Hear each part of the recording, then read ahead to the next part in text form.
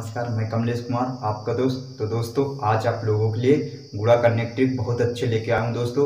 एक सेकेंड में उसका हम आंसर पता कर लेंगे दोस्तों। आप भी पता कर लेंगे दोस्तों। बस, ये ट्रिक आप लोग देख लीजिए। आपको कभी भी गुड़ा करने में दिक्कत नहीं होगी दोस्तों। तुरंत देखेंगे संख्या, तुरंत उसका आंसर बोलेंगे दोस्तों। तो चलिए दोस्तों ट्रिक शुरुआत करते हैं। तो देखिए दोस्तों, ये ट्रिक कब काम करेगी? इसमें देखिए आपको कुछ दिख रहा होगा। ये देखिए इसमें इकाई का पाँच होना चाहिए देखिए इकाई काम पाँच होना चाहिए। कोई भी ले इसको इकाई बोलते हैं, इसको दहाई बोलते हैं।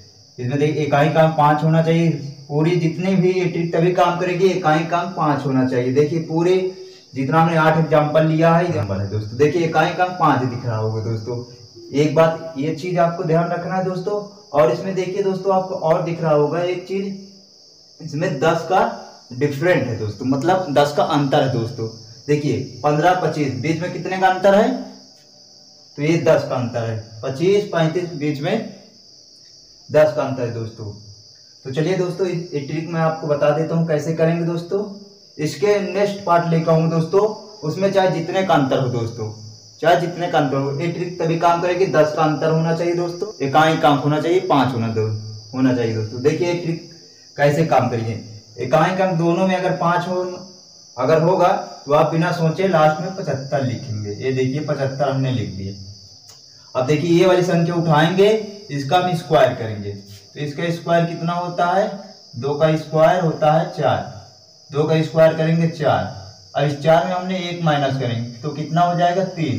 तो ये तीन उठा के यहाँ रख देंगे दोस्तों। इसका गुणा करेंगे तो आएगा तीन सौ पचहत्तर दोस्तों। कैलकुलेटर उठा चेक कर लीजिए दोस्तों। अब देखिए, पच्चीस और पैंतीस में भी दस का अंतर है दोस्तों। बस देखिए इकाई काम पाँच है, दोनों में इकाई काम पाँच है, बस बिना सोचे आप पचहत्तर लिखेंगे यहाँ लास्ट में। अब देखिए, ये वाली संख्या उठाएँगे, ये वाली उठाएँगे, देखिए तीन का स्क्वायर कितना होता है? नौ होता है। तो एक माइनस कर देंगे तो ये हो जाएगा आठ। तो ये इसका होगा आठ।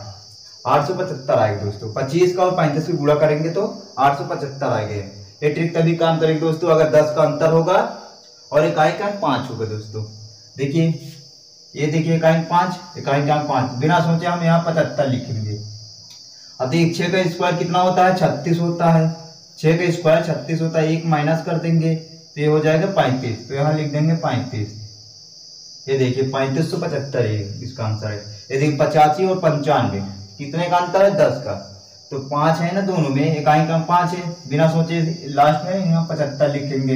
अब नौ का हम स्क्वायर करेंगे, नौ का स्क्वायर कितना होता है? इक्यासी होता है। इक्यासी में एक माइनस करेंगे कितना हो जाएगा? अस्सी। तो यहाँ अस्सी लिख देंगे। ये हो गया इसका आंसर दोस्तों। अब बात करेंगे दोस्तों तीन डिजिट वाली संख्या। ये भी उसी तरह है दोस्तों। बस आपको दिख रहा होगा इतनी बड़ी बड़ी संख्या, लेकिन इसको भाई बिना सोचे एक मिनट में आप आंसर लिखेंगे दोस्तों। अगर प्रैक्टिस आप करेंगे, अच्छे से तो दोस्तों। अब देखिए 105 और 115 बीच में कितने का अंतर है? 10 का। देखिए पाँच है ना, दोनों इकाई का पाँच है, इसमें भी इसमें भी। तो बिना सोचे हम लास्ट में पचहत्तर लिख देंगे।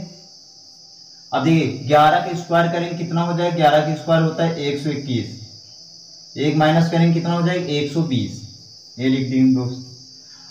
तभी दोस्तों इस ट्रिक फास्ट कर पाएँगे, जब आपको सभी का स्क्वायर पता होगा दोस्तों। अगर वीडियो नहीं देखे दोस्तों प्ले लिस्ट में जाइए, मैंने स्क्वायर निकालने की ट्रिक बहुत सारी बताए दोस्तों, किसी भी संख्या को देखेंगे, तुरंत उनका स्क्वायर बता देंगे दोस्तों।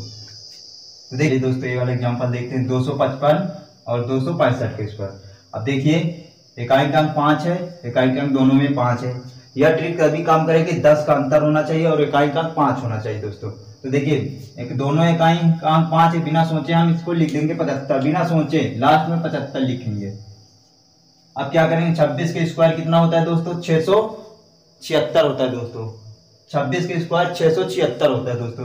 तो छह सौ छिहत्तर में हम एक माइनस कर देंगे, कितना हो जाएगा? छह सौ पचहत्तर। ये लिख देंगे छह सौ पचहत्तर। देखिए, इतना बड़ा संख्या का गुणा हमने तुरंत बस देखते हैं, इसका आंसर लिख देंगे दोस्तों। आप भी प्रैक्टिस करेंगे, आप भी लिख देंगे दोस्तों। अब देखिए 135 का गुणा करेंगे 145 में। देखिए दोस्तों, इसमें दसी के काम, दस का अंतर है दोस्तों। बिना सोचे, अगर दोनों इकाई का पाँचों बिना सोचे सोचे, लास्ट में पचहत्तर लिख देना है।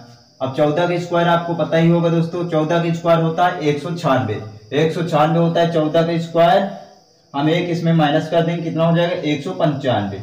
इसको लिख देंगे, ये देखिए, एक सौ पंचानवे देखिए इसका आंसर अब दो सौ पैंसठ का और दो सौ पचहत्तर का गुणा करेंगे। देखिए, इकाई का पाँच है और दस ही का अंतर है इसमें। बीच में देखिए, यहाँ पचहत्तर है, यहाँ पैंसठ है। बीच में दस का अंतर है तो बिना सोचे लास्ट में हम लिख देंगे पचहत्तर। अब सत्ताईस की स्क्वायर कितना होता है? सात सौ उनतीस होता है, एक माइनस कर देंगे, कितना हो जाएगा? ये हो जाएगा सात सौ अट्ठाईस। ये देखिए दोस्तों, अगर दोस्तों इसी तरह ट्रिक पाना चाहते हैं दोस्तों तो कर दीजिए मेरे चैनल को सब्सक्राइब दोस्तों। अगर वीडियो आपको अच्छा लगा हो दोस्तों, कर दीजिए वीडियो को लाइक दोस्तों। फिर मिलते हैं दोस्तों नेक्स्ट वीडियो में, तब तक के लिए जय हिंद, जय भारत।